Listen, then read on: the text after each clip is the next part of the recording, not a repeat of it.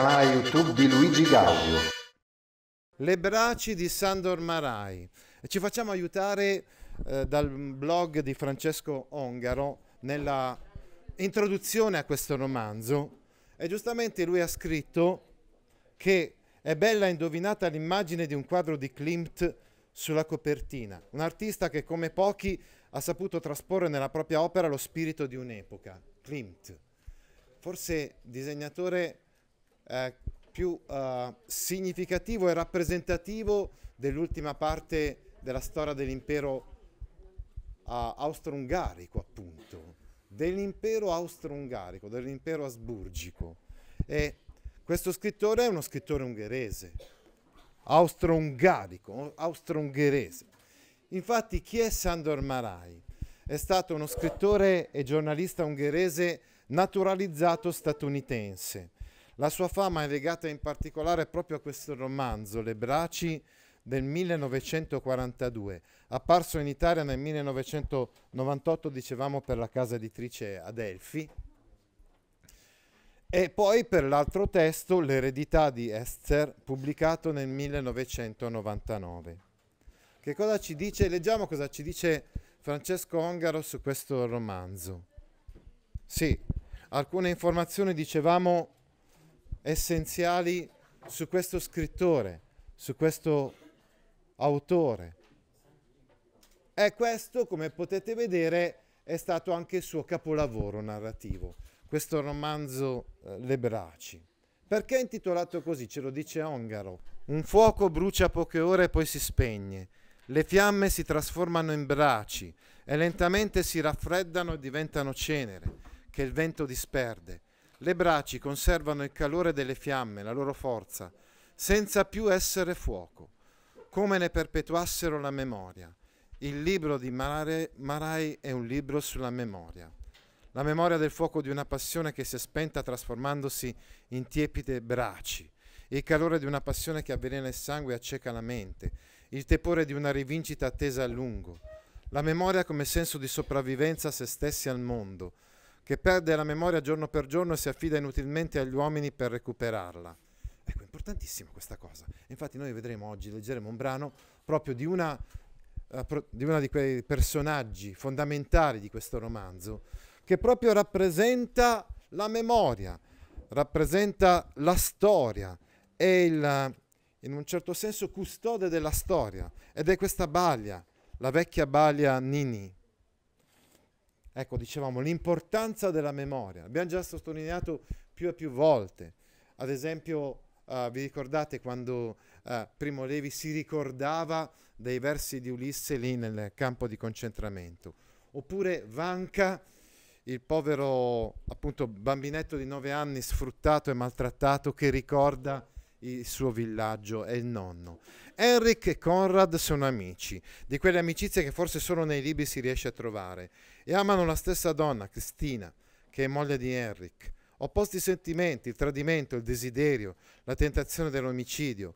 Poi Conrad sceglie la fuga e due amici e rivali si ritrovano a 41 anni di distanza. Il fuoco della passione è diventato brace, alimentata dall'alito dei ricordi di Henrik, che l'hanno tenuta viva con una cura e attenzione maniacali. Il tempo trascorso ha cambiato il mondo, i volti, i suoni, gli odori che hanno fatto da sfondo alla gioventù dei protagonisti non esistono più. Cristina è morta. Henrik e Conrad sono superstiti di un'epoca ormai scomparsa, la Vienna splendida di fine impero, la Vienna di Francesco Giuseppe, degli Strauss, di Klimt appunto, no? Ricordate che la copertina di questo romanzo è proprio fatta con un, con un, quadro, di, con un quadro di Klimt. La grande cultura mitteleuropea sepolta sotto le ceneri della Grande Guerra.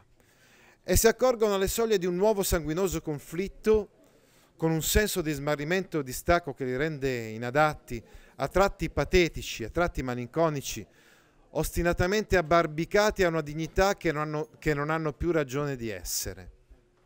Ha senso mantenere accese per tanti anni le braci delle passioni umane? Che valgono gli amori e i tradimenti di singoli uomini a fronte delle grandi tragedie dell'umanità intera?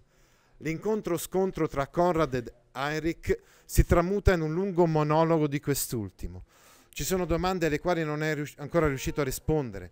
Sono le domande che porrà Conrad, l'unico che può scoprire l'ultimo velo. Poi il tempo proseguirà per la sua strada, abbandonando i protagonisti alla loro solitudine e al silenzio della morte.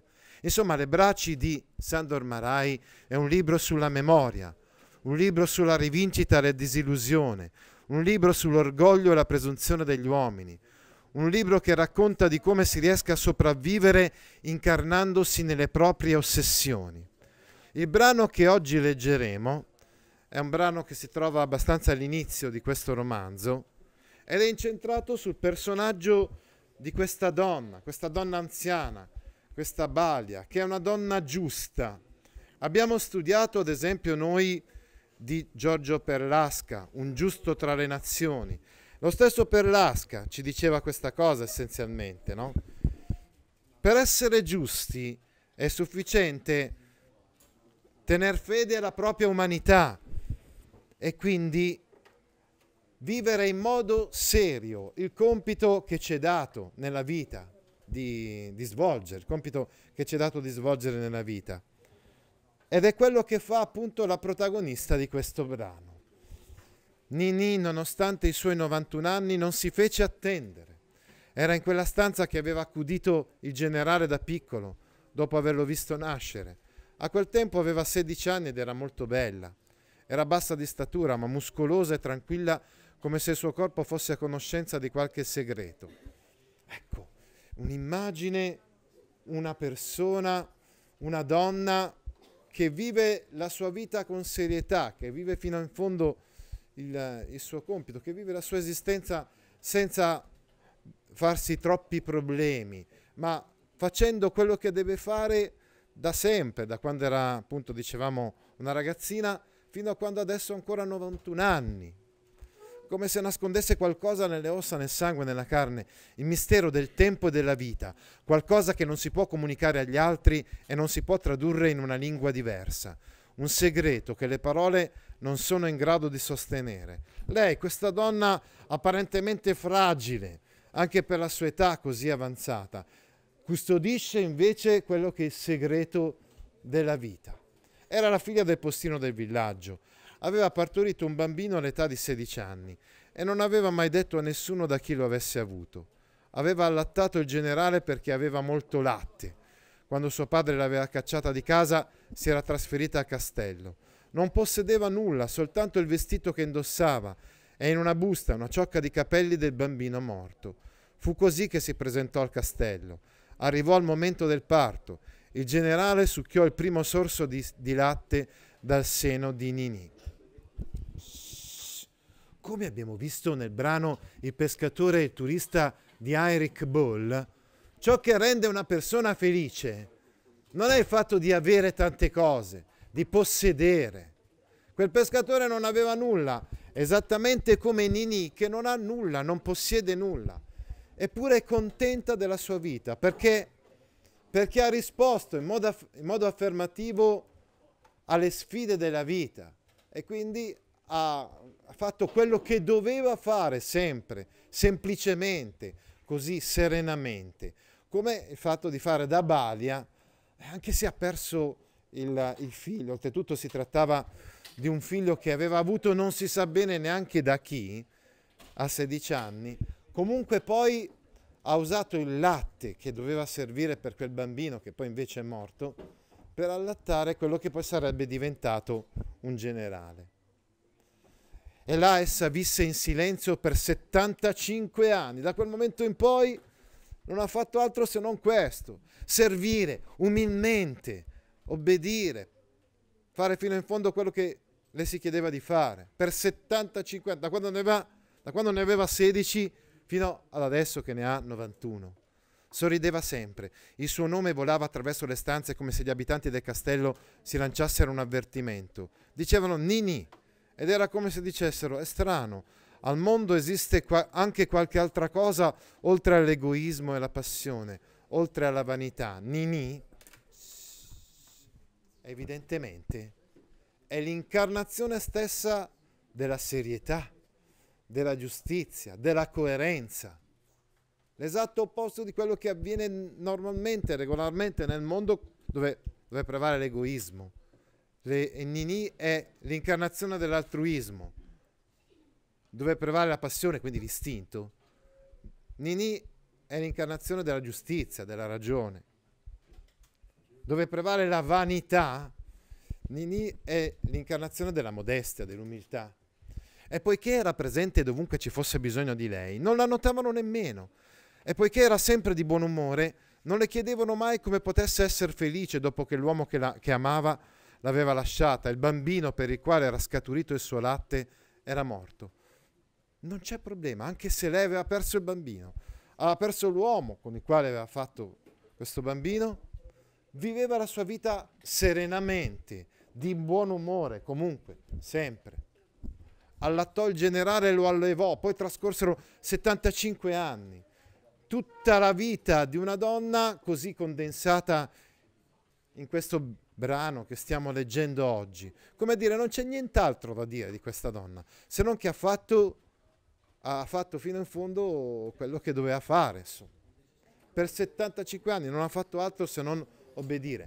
Talvolta, su, tante volte, negli, nei testi anche narrativi, ci sono personaggi negativi e forse noi abbiamo il gusto tante volte del, del torbido.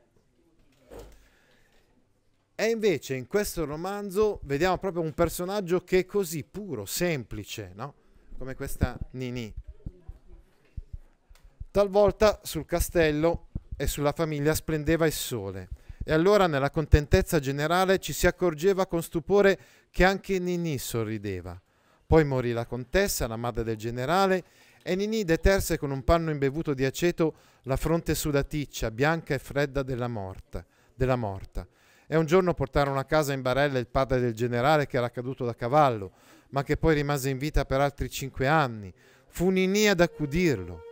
Leggeva per lui in francese.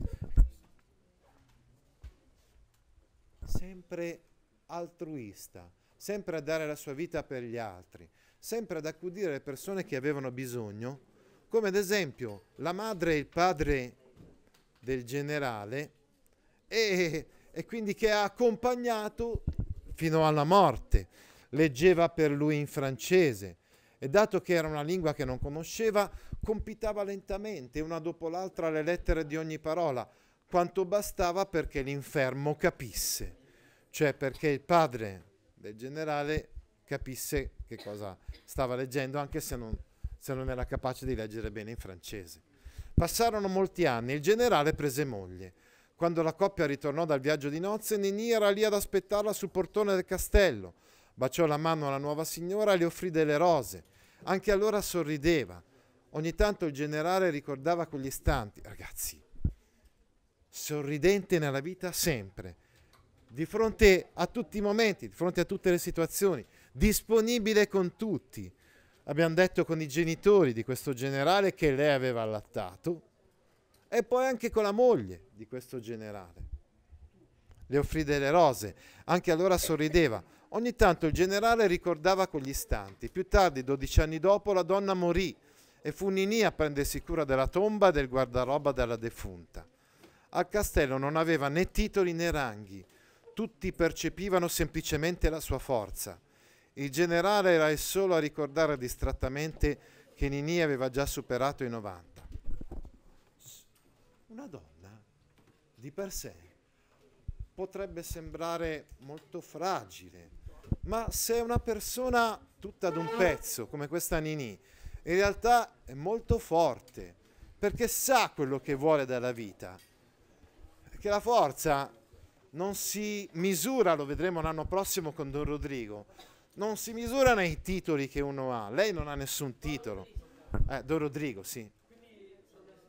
I promessi sposi. E vedremo che apparentemente forte. Eh, apparentemente forte quel Don Rodrigo, in realtà è un personaggio debole e la mostrerà in svariati momenti del, del, del romanzo, soprattutto quando sarà minacciato dal fra Cristoforo quando sarà minacciato da Fra Cristoforo. Esatto, anche Don Abbondi era un personaggio debole, senz'altro. Invece Nini è un personaggio forte, a dispetto del suo aspetto così gracile. Nessun altro sembrava esserne consapevole. Aveva più di 90 anni, eppure solo il generale era consapevole di questo. Per gli altri Nini sembrava quasi eterna, una persona eterna, perché quasi non, non ci si rendeva conto che era arrivata fino a quell'età.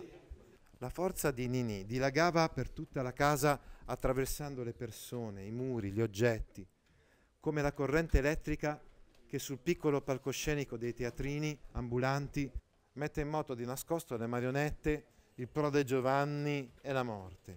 A volte si aveva la sensazione che la casa e gli oggetti sarebbero caduti a pezzi se la forza di Nini non avesse tenuto insieme tutto quanto, così come i tessuti molto antichi si polverizzano e si dissolvono se qualcuno li sfiora all'improvviso.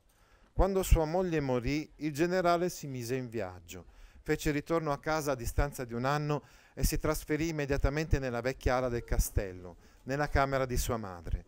Fece chiudere l'ala nuova dove aveva vissuto insieme alla moglie, i saloni variopinti dove le tappezzerie di seta francese cominciavano ormai a sfaldarsi, l'ampio studio con il camino e i libri, la scalinata con le corna di cervo, gli urogalli impagliati e le teste di camoscio imbalsamate, la grande sala da pranzo dove, attraverso le finestre, lo sguardo spaziava sulla valle, sulla cittadina sui monti lontani di un azzurro argenteo le stanze occupate dalla moglie e accanto a queste la propria camera da letto. Voleva farne a meno, voleva, voleva vivere da un'altra parte, voleva dimenticare totalmente appunto quello che era stato, tutto ciò che gli ricordava la moglie.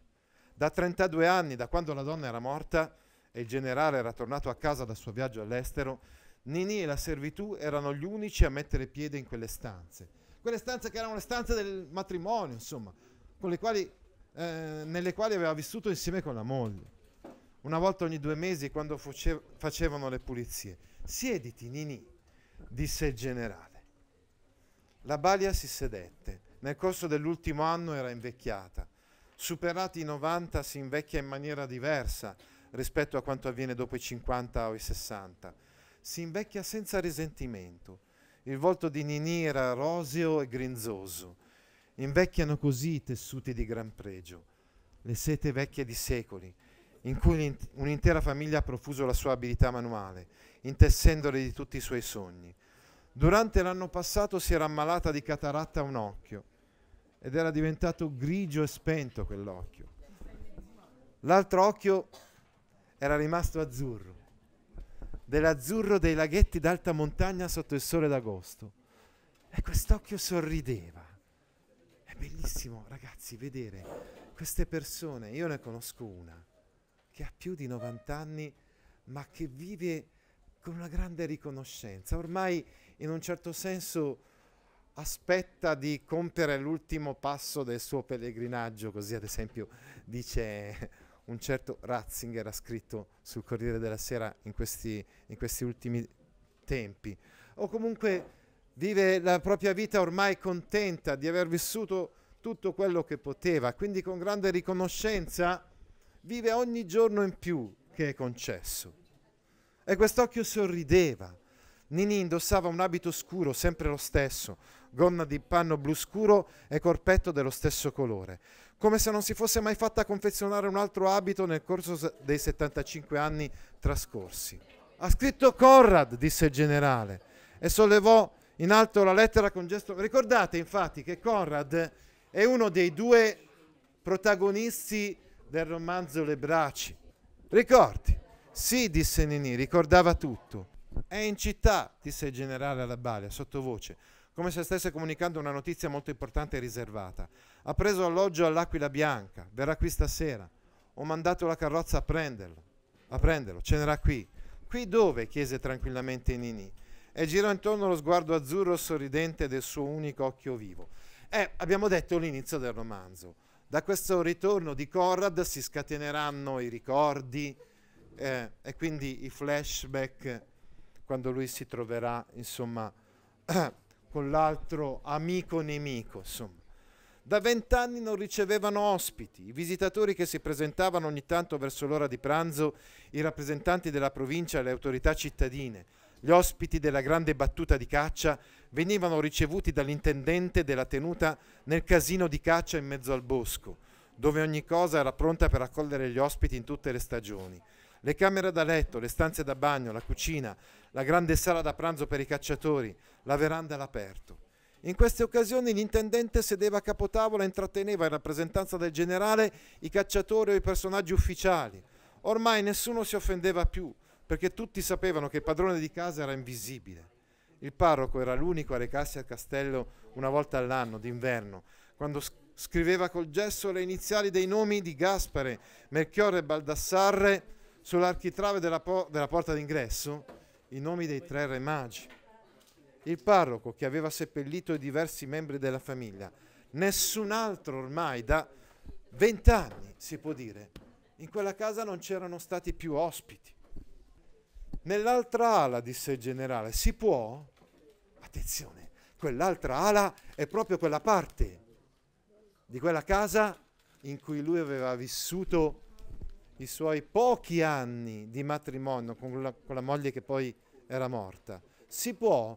Deve chiedere il generale a Nini perché lui non c'è più ritornato in quella parte della casa. Abbiamo fatto le pulizie un mese fa, disse la Balia. Si può. Per le otto di sera è possibile? domandò eccitato con curiosità un po' infantile. Si sporse in avanti sulla poltrona. Nella grande sala da pranzo, adesso è mezzogiorno.